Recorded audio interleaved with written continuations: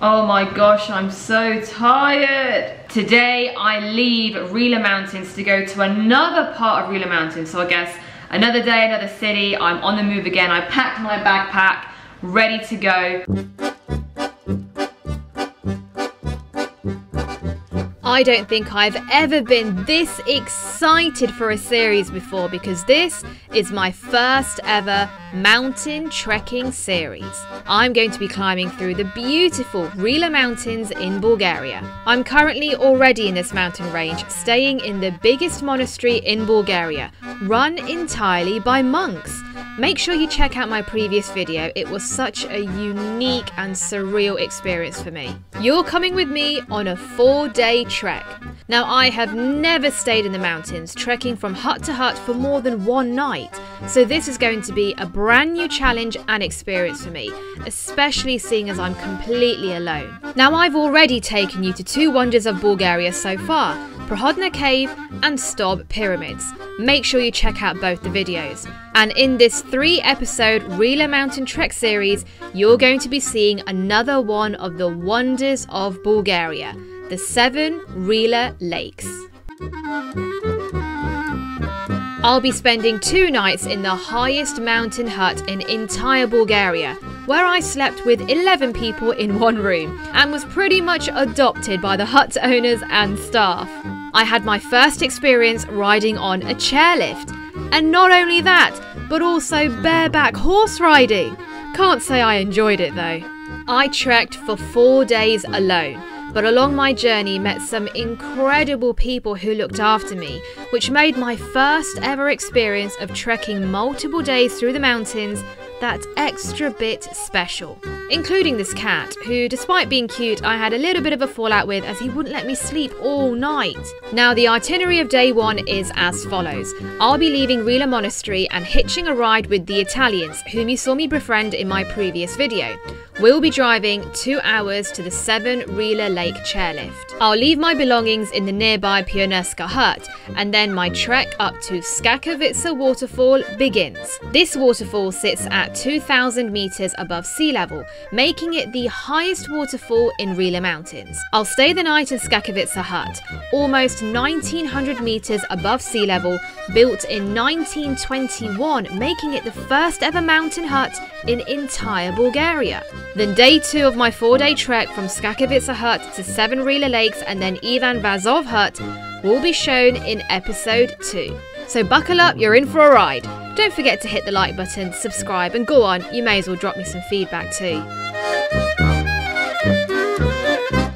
I'm really, really fortunate that the two Italian girls that I met yesterday, they are heading to the same area of Rila Mountains today. So I'm gonna be jumping in the car with them. Thank God. If I did not have them, it would have taken me around over three hours to get from Rila Monastery, where I'm right now, over to the part of Rila Mountains that I'm gonna start trekking. Because I would have had to hop from bus to bus, village to village to get them. Today is my two month traveling anniversary. Wow, I cannot believe I'm two months old as a backpacker, as a traveler, hopping from city to city, town to town, island to island, country to country. It's been an incredible experience. And today a new chapter begins because to celebrate my two month anniversary of traveling, I am gonna spend around three or four days up in the mountains, hiking from hut to hut to hut. I am so excited because I've never done this before in my life. A very different experience and plus I am doing it on my own. Right, I am all packed and ready. Need to get this backpack in the car. Let's go.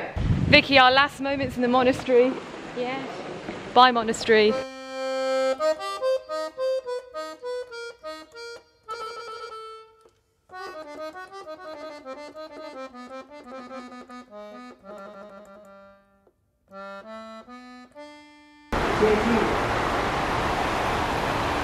Look at where Vicky has brought us for breakfast.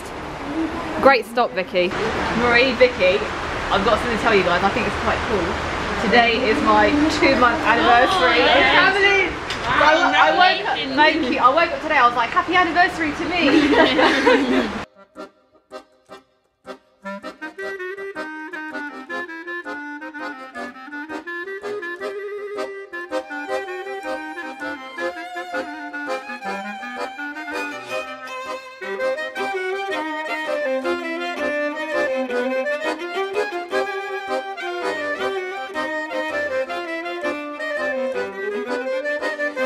this is it, girls. This is goodbye. Yes. Oh, oh This is when do you think I'll see you again?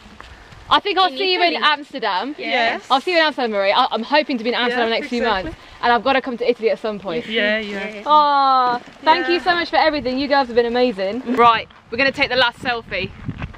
I have a huge backpack on as well. Oh, nice. You're gonna send me all the. I sent you guys all your photos. Yeah. You're gonna send me all of mine. Exactly. There's a lot of logistics that goes into mountain climbing, so I've now had to find a hut where I can unpack my stuff out of my main bag, empty it into this bin bag that a nice lady gave me, then I'm gonna take limited stuff to the mountain for four days. So much logistics and planning goes into it. So a really nice mother and daughter let me leave my stuff in their hut, which is at the bottom of the mountain. Now, I have to walk one hour to get to the starting of the trail where I begin with no internet. So I've got to hope I find my way there. Look at the irony of this situation, right? I have to do a hike to get to the starting of my hike so that I can begin my hike. Whew. A hike so that I can start my hike. One hour later. Yes, I'm at the beginning of the trail, so the hike to Skakavitsa Hut, which is by Skakavitsa Waterfall, begins. Finally begins. I think this hike is going to be about an hour and 15 minutes. It shouldn't be too long, but apparently it's very steep. So get ready to sweat, Asra. Okay, now the challenge begins. So now we're going to take a right turning into this and work our way up this route. Oh gosh, here goes. I hope this is the right trail. I really, really, really do.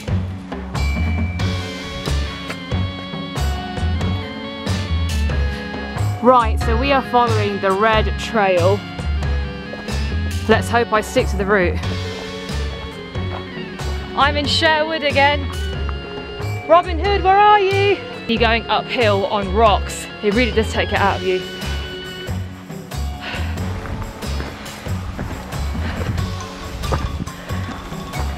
I have to say this is a very, very cool forest.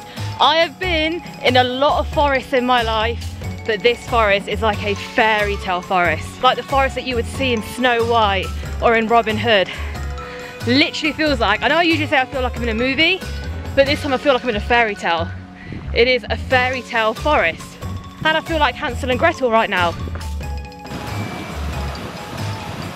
Oh my God, look at this. That is where we are going to sweat. Right, and the sweating begins.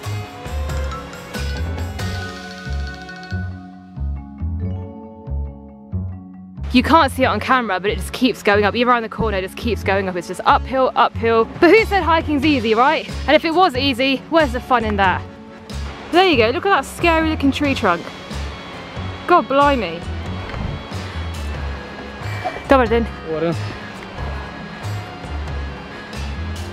Okay, so we've come a long way up. You can't see it, but that spiky looking log was down there, right down there. So we've come all the way up, and now we still have a shitload more to do.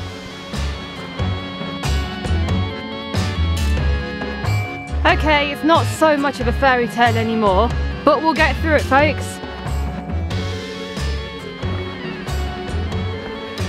Let's see if I fit under or if I'm gonna take my backpack off. Crouch! Ah! I'm stuck a little bit. Oh my god, we made it through. Oh, we made it through under that log with my backpack. Oh my gosh, guys, what is that that I see? What is that? Is this the hut? Have we arrived? Oh my gosh, maybe we've arrived.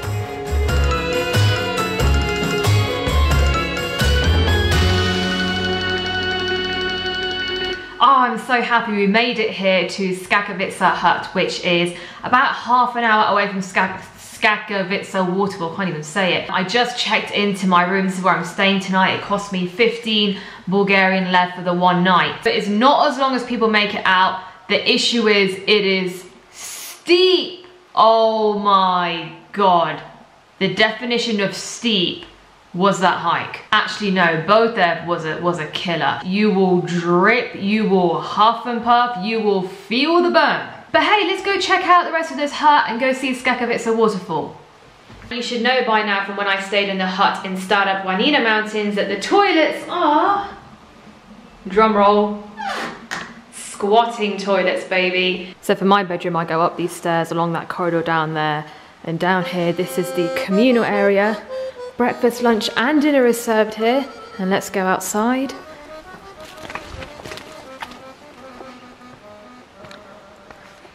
This is cute.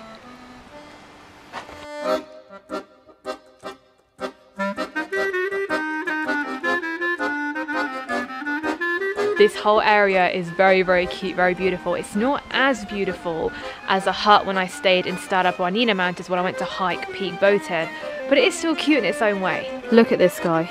Looks like he did the hike, not me. A couple of tips for traveling around Bulgaria always always carry a passport with you so even when I checked into this hut which is up in the mountains in Bulgaria I still needed to show my passport and second point is uh, learn how to read Bulgarian because most of the signs are all in Bulgarian. That right there says Skakavica. Can you imagine if I didn't know how to read it, I would have been completely freaking lost. You don't have to be a pro, I'm no pro, just learn a few basic letters then you can start to figure out words and it'll help you out. Trust me, you'll go a long way in Bulgaria. Right, this is where we are going now, Skakavica waterfall. Look how beautiful this looks the rocks, with the trees, with the mountains.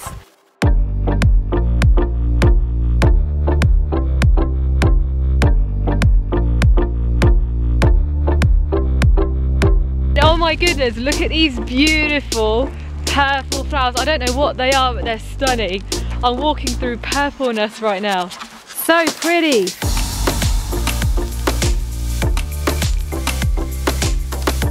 Let's wade through this purpleness. It's a very rocky route. I absolutely love this. It's just me, the purpleness. Oh my God, and a freaking frog. oh, missed it. Okay, let me carry on with what I was saying. Just me, myself, the purpleness, the mountains, and the mountain air. It's beautiful. Wow, look at this section. They're as tall as me boom, we can start to see it, look right there. You can hear it too. Hey folks, we made it to Skakavica Waterfall.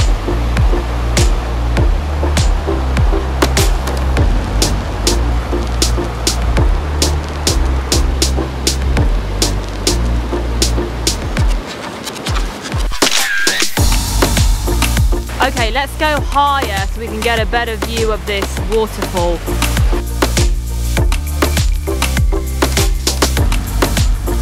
Oh my god guys, look how beautiful this tree is, the shape of it. That's so cool! Nothing like the powerful sound of a waterfall. And these are just baby waterfalls. I can't I can't even begin to imagine what the sound would be of the really, really big, big waterfalls. Because I'm mesmerized just by this right now. Here's another tip for Bulgaria. Learn Bulgarian. Very few people here speak English, especially when you come to villages and especially when you come up to the mountains. So these huts are run by owners that do not speak a word of English, most of them. The hut I'm in right now, the man does not speak a word of English. Thank God I have some broken Bulgarian, which is why I'm able to communicate. And I just had a really, really funny conversation right now with him. I've come up from the waterfall, I just want to have a shower and get to bed which is why I asked him for a towel. I asked him for a towel and he looked at me like I asked him for his kidney and said there's no towels. I said how much for a towel? He said there's no towels. I was like fuck you're kidding me. So I gotta either have a shower with no towel or have no shower at all. So after a lot of consideration I've come to the conclusion that it's actually a blessing in disguise that I cannot have a shower and I will not be able to shower for the next four days. I can't wash my hair, my body, none of that. And there's an individual that I follow who climbed both K2 and Kilimanjaro and I remember reading an article by him and he said to wash they'd use wipes for the body and to keep your hair clean you put talcum powder. So that is what I'm going to do for the next four days. All of this just because I don't have a towel.